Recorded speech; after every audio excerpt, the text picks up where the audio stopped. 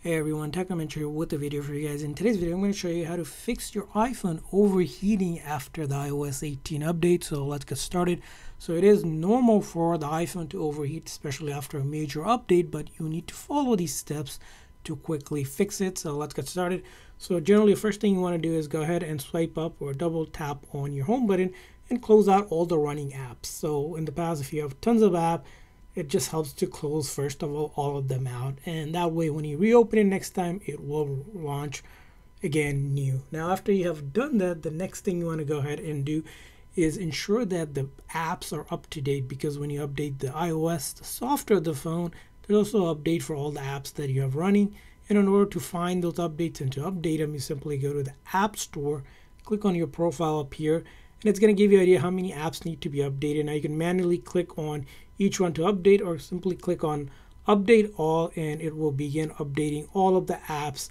And generally it just take a few minutes but you should see them all starting to download and install the latest version to be compatible with iOS 18 and the reason why that is if it's running an older version it's likely to be not as functional and have some issues which the new update will go ahead and fix it. So go ahead and update your phone now, once you have updated your iPhone, all of the apps, the next thing you want to follow is this step here. So first thing is you're going to want to go ahead, quickly press and release the volume up, and then quickly press and release the volume down, and hold on to the side button until the screen goes completely black and the Apple logo appears.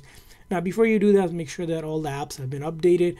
I'm just going to show you how that's done. So it's going to be quickly press and release the volume up, volume down, and then I hold on to the side button just like that and now it's going to slide to power off but you do not want to touch any part of the screen. Just keep simply keep holding onto that side button until the screen goes completely black.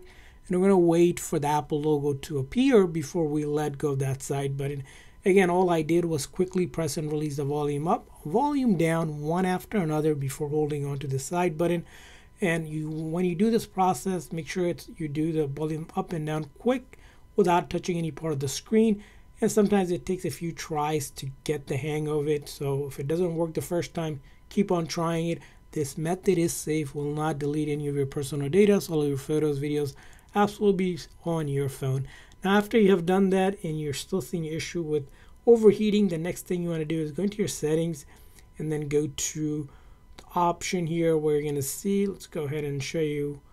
What you want to do is go under the battery and then you want to turn off low power mode while you do that, make sure your phone is charged over 20%. If it's not, try to be between 20 to 80%. Generally, when a major update happens, it's good to recharge the phone again because it does take a, quite a bit of battery, and that's why you might feel the battery feels like hot on your phone, and that's normal as well. So after you have done that, the next thing to do is under the settings, go to security and privacy, click on location. If you have location setting turned on, simply turn that off and then go back to your location services and turn it back on. It does a quick net a refresh of the location settings, which can cause the phone to overheat. Now, the next thing you want to do in your settings here is go into General, go to iPhone storage, and make sure you have enough storage to support your phone on the latest iOS 18 update. I usually say more than 5 gigs free available, if not more. Here I have 99 gigs available and if you're down to a few gigs delete some longer format videos messages apps that you don't need to free up some space and you see improvement in performance and even fixing the overheating issue. Now after you've done that and you're finding that it's still not fixing the overheating issue the next thing you want to do in your settings go to uh, general here and then go all the way down where it says transfer reset iphone. Click on reset and you're going to want to do a reset all settings. So reset all settings just resets the settings, not any of your data. So all of your photos, videos, apps will be on your phone. You don't have to worry about that. It'll reset things like your network related settings. any save Wi-Fi and Bluetooth, you have to reconnect again.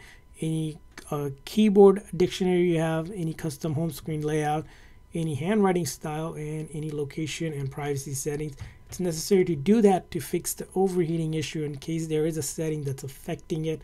And after you have done that, which should take about 30 seconds to a minute, the next thing and the final thing you can do is kind of wait for the next major update.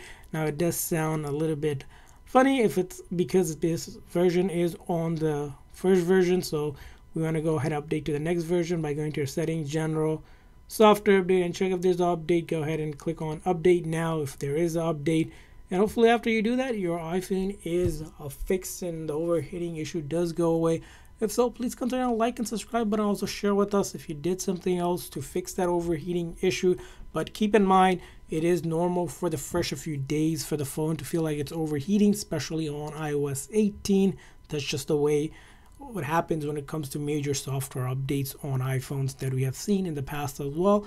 And I hope this video is helpful. So please consider a like and subscribe button. We'll see you guys next time.